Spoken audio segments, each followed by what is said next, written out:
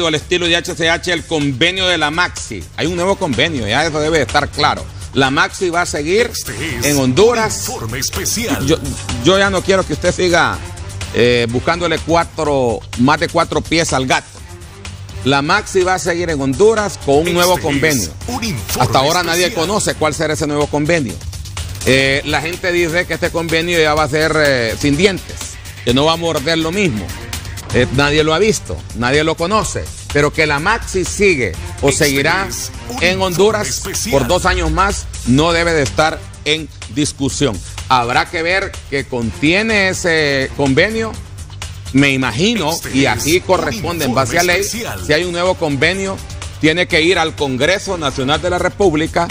Y si ya se decidió que vaya al Congreso, es porque los diputados también lo van Este es A no, lo van a Aprobar.